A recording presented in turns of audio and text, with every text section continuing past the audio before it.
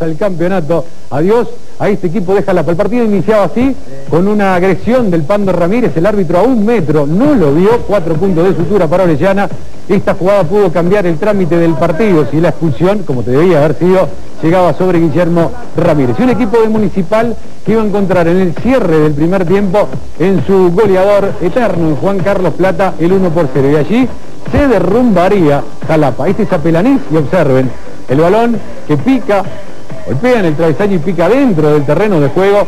Era más, Jalapa jugaba mejor, Jalapa en el primer tiempo y por ahí merecía algo también en la ofensiva, pero el campeón no era contundente. Una pésima planificación para la defensa del título, a jugadores que le dieron vacaciones, lo mismo que el cuerpo técnico, lo terminó pagando en este torneo clausura, cerrando apenas el séptimo lugar y no podrá defender su corona en esta fase final. La euforia por el título eh, despertó, desató la locura ya en Jalapa y realmente se olvidaron de planificar lo que iba a ser esta campaña en el torneo clausura temporada 2007-2008. En el final del encuentro, en esa primera parte, va a llegar Juan Carlos Plata y aquí se derrumbaría Jalapa. Este gol sería letal, mortal para Municipal, el tercero de Juan Carlos Plata en el campeonato, luego del centro de Rodríguez, el cabezazo de Chaparro, la reacción a medias del guardameta de Luis Pedro Molina, y allí puntual, donde ha estado siempre para la Escarlata, Juan Carlos Plata se llevaba el primer tanto en este encuentro. Un equipo de Jalapa que tuvo muy poco a la ofensiva,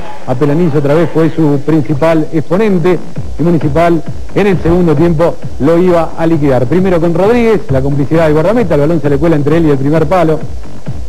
Minuto 9 del segundo tiempo.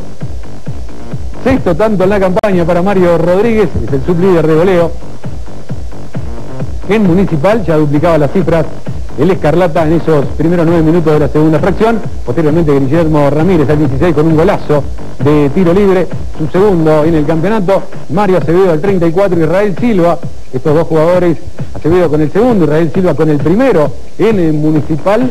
Y Juan Carlos Plata sobre el 93 para su cuarto tanto en este campeonato ya categórico 6 a 0. Aquí sería expulsado Castrillo por esta grosera entrada sobre Silva el árbitro. Ahora sí no dudó y le mostró la tarjeta roja en el encuentro, otra vez el guardameta tirándose y acompañando la pelota en la trayectoria, tirándose dentro de la portería en ese eh, buen remate de Acevedo, es cómplice también el arquero de Jalapa, Luis Pedro Molina, para esa anotación. Para Municipal fue la décima victoria, la sexta en condición de local, se mantiene en el segundo lugar y clasificó así a semifinales con 35 puntos con 18 en el goleo, pero menos goles anotados que Comunicaciones, que también llegó con 18 en diferencial en el goleo, pero con 36 anotados Municipal, con 34 a favor.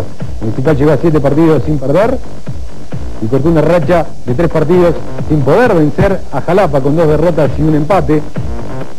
Jalapa lo había vencido, lo recordamos en la primera vuelta, 1 a 0 y le había cortado el invicto y hoy Municipal también con dos exponentes importantes en este caso el goleador Freddy García del campeonato con 12 goles